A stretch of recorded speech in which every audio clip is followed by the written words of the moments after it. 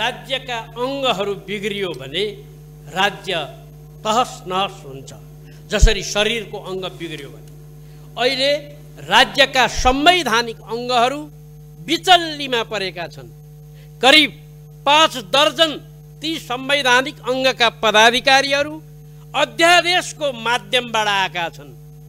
अध्यादेश निरङ्कुश प्रतिगमनकारी सरकारले संसदलाई मारेर थिचेर राष्ट्रिय सभालाई अन्त्य गरेर धारा एक सय चौधलाई अपव्याख्या र बेइमानी गरेर चिथोरेर कोपरेर अधिवेशन अन्त्य गरेर ल्याएको थियो। त्यस कारणले यो संसद विघटन गरेर सुनवाई पनि नगरेर संसदले सुनवाई गर्नुपर्ने त्यो पनि नगरेर संविधानले अनिवार्य सुनवाई भनेको छ अध्यक्ष महोदय बिना सुनवाई नियुक्ति हुँदैन त्यहाँ राष्ट्रपति पनि चुक्नुभयो। सुनवाई भएको छैन छैन सोध्नु भएन। संविधानले सुनवाई अनिवार्य गरेका थियो। धारा दुई सय बयानब्बेलाई बर्खिलाप गरेर जुन प्रकारले आयो त्यो प्रकारका पदाधिकारीहरू छन्। अहिले यो नियमावलीका आधारमा पैँतालिस दिन नागेको भनेर बनाएको ती नियुक्तिहरू दोस्रो विघटन गरेर फेरि अर्को अध्यादेश ल्याएर वैशाख एक्काइस गते अदालतमा मुद्दै परेपछि पुस एक गतेदेखिका मुद्दा अहिलेसम्म सुनवाई भएको छैन सभामुखलाई सूचना दिइएन सङ्घीय संसदको अर्को अध्यक्ष जानुभयो संसदमा पेश अध्यादेश निष्क्रिय भइसक्यो अहिले अनि सरकारले बाँकी अध्यादेश पनि खारेज गर्यो अब यो देशमा अध्यादेश छैन ऐनले छजना सदस्य हुनुपर्नेमा धारा दुई सय चौरासीलाई करप कुरूप खाएर त्यसलाई पनि मारेर संविधानको निर्मम हत्या पनि गर्न खोजेर सूचना अडचालिस घन्टा सभामुखलाई दिनुपर्ने त्यो सूचना समेत नदिएर सर्वसम्मतिले निर्णय गर्नुपर्ने। त्यो निर्णय हुन नसकेमा अर्को विकल्प गर्नुपर्ने। तर दुईजना कुना बसेर खासखुस कुरा गरेर एकजनालाई साथी राखेर कन्फ्लिक्ट अफ इन्ट्रेस्ट स्वार्थबाजीले कुरा भएर काम गरियो। प्रधान न्यायाधीशबाट यो सुनवाई हुन सक्छ कि सक्दैन? उहाँले जसरी भए पनि यो सुनवाई गर्ने वातावरण बनाएर विभिन्न विकल्प गरेर जानु पर्यो अध्यक्ष अध्यक्ष राष्ट्रिय सभा अध्यक्ष सबै काममा इन्भल्भ सहभागी हुनुहुन्छ। त्यस कारणले यो सदनले निर्देशन गर्दा पनि अध्यक्ष बाहेक हुने गरेर निर्देशन गर्नु पर्यो। हाम्रो संविधान र हाम्रो संविधान सभा नियम हाम्रो राष्ट्रिय सभा नियम बलले त्यही कुरा भनेको छ। विवादग्रस्त भयो। संवैधानिक आयोग विवादग्रस्त भयो। संवैधानिक आयोगले विश्वास गुमायो। संवैधानिक संविधान स्वयं र संविधान संवैधानिक आयोग अपाङ्ग भयो। अन्तर्राष्ट्रिय मान्यताहरूमा प्रश्न उठ्यो।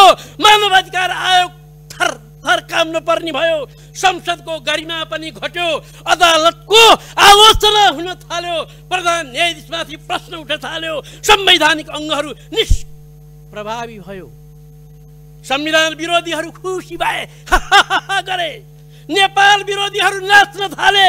यही मौका छोपेर धर्मको नाउँमा मूर्ति चोरहरू राजतन्त्रका कुरा माग्न थाले। प्रतिनिधि सभामा अब महाभियोगको बाढी आउने भयो। सबै अस्त व्यस्त हुने भयो। अध्यादेशको सरकार भने इतिहासको कलङ्क भएर ओली सरकार जाने भयो। बोक्ने भयो यो दोष। आयोग सक्रिय हुन सकेन। गैर कानुनी नियुक्ति लिएर बसेकाहरू आत्माग्लानी भएर मरे तुल्य भएर बसे। नियुक्ति गर्नेहरू पनि बेचैन भएर कराउन पो थाले। संविधान अङ्ग यही कारणले रोगग्रस्त भयो। तसर्थ राष्ट्रिय सभा जस्तो गरिमामय सभा राष्ट्रिय सभाले भन्नुहोस् अध्यादेशद्वारा भएका सम्पूर्ण काम कारवाहीमा राजनैतिक सहमतिद्वारा ती नियुक्तिहरू बदर गरेर ठिक बाटोमा संविधानका बाटोमा फेरि कार्य गर्नु भन्ने निर्देशन पनि दिन सकोस् यति मात्र होइन अध्यक्ष महोदय। हामीले गाउँघरमा केटाकेटी हुँदा खेल्न जान्थ्यौँ डन्डी बिउ। अनि डन्डी बिउमा साथी साथी झगडा परेर एउटा साथी हार्यो भने दौडेर घर आएर घरको बारदलीमा बसेर पख्ला तलाई भनेर खुइ पाखुरा खोइचेर तथा नाम गाली गरेर हिँड्ने गरेका थियो नि। प्रधानमन्त्री पूर्व प्रधानमन्त्री ओलीले त्यही गर्नुभयो। सारा विध्वंस गर्नुभयो। कुदेर बालुवा बालुवा बालकोट जानुभयो अनि बारदलीमा बसेर त्यही चाहिँ तथा नामको गाली गर्न थाल्नुभयो त्यस कारणले यहाँ ओठे जवाफहरू गर्न नहुने हो। यो चाहिँ नि गजबको चाहिँ नि सम्मानित के अरे चाहिँ यो सम्मानित चाहिँ नि हाम्रो चाहिँ हाउस। यो सम्मानित हाउसमा बडो गम्भीरतापूर्वक कुरा गर्नुपर्ने हो तर छ्यासा म्यासा छ्यासा म्यासा कुरा आइरहने भयो। गच्छेदार जो भ्रष्टाचार मुद्दामा दाबी कडा हालेछ ओली सरकारले प्रबल कब्ला कुब्लो खाइदिएछ। त्यस कारण अदालतले प्रमाण भएन छोडिदिन्छ अब के गर्ने? दोष कसको? पूर्व अध्यादेशीय सरकार भन्यो भने के होला? पूर्व विघटनीय सरकार भन्यो भने के होला? संसदको शत्रु पूर्व सरकार भन्यो भने के होला? अपहरण अपहरणकारी सरकार विध्वंसकारी पूर्व सरकार भन्यो भने के होला?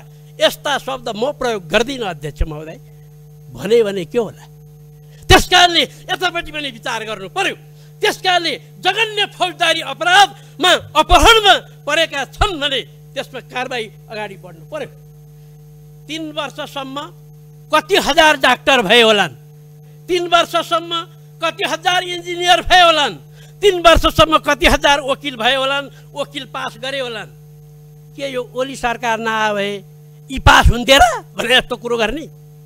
जङ्गलको रुखहरू चार पाँच फुट थियो ओली सरकार आउँदा। पछि बढेर बिस बाइस फुट भएछ ओली सरकार नआए बढ्थ्यो यसरी भन्ने। धरहरा र रानी पोखरी ओलीजीको हजुरबा नजन्मिँदै बने। त्यो धरहरा र रानी पोखरी भूकम्पले भत्काएपछि नेपाली जनताले तिरेको करबाट त्यहाँ चाहिँ ओली बहादुर साई नाम गरेको एउटा बनगरियालाई प्रधानमन्त्री बनायो भने यो बन्थ्यो त्यस कारणले यो कुरा भन्ने हामी यतातिर जानु भएन अध्यक्ष महोदय। हामी कहाँ जानु पर्यो भने हाम्रो देशमा सरकार बन्दा ऋण कति थियो? तिन वर्ष अगाडि ऋण कति थियो? अहिले नेपालीको टाउकोमा ऋण कति छ? वैदेशिक रोजगार विचल्ली हो स्वदेशी रोजगारका रकम हजम भयो विवादग्रस्त चाहिँ नि विभिन्न प्रकारका कानुन बनायो। अहिले भर्खर सामाजिक सुरक्षाका कुरा आए।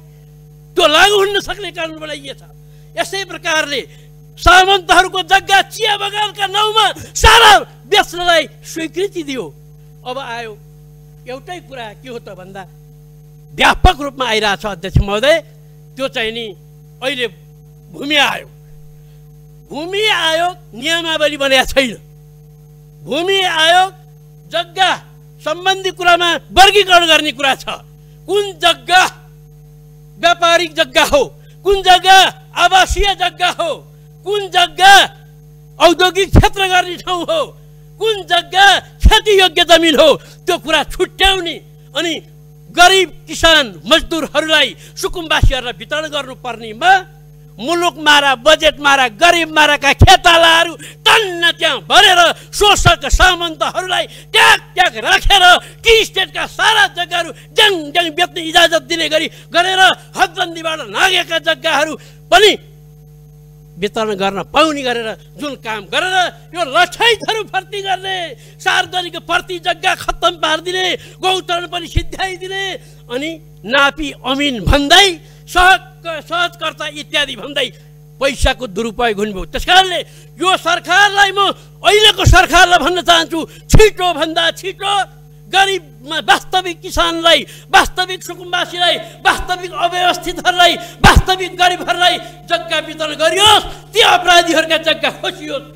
यस प्रकारको काम गर्ने हो। यही काम गर्नको निम्ति हामीले यही प्रकारका कुराहरू अगाडि बढाउने कुरा गरेका हौँ।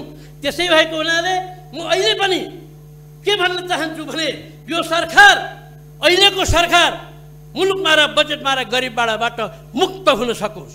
यही मेरो शुभकामना छ यस्तै काम अगाडि बढाउन सकोस्। यही मेरो शुभकामना सहित कुरा टुङ्ग्याउँछु। धन्यवाद।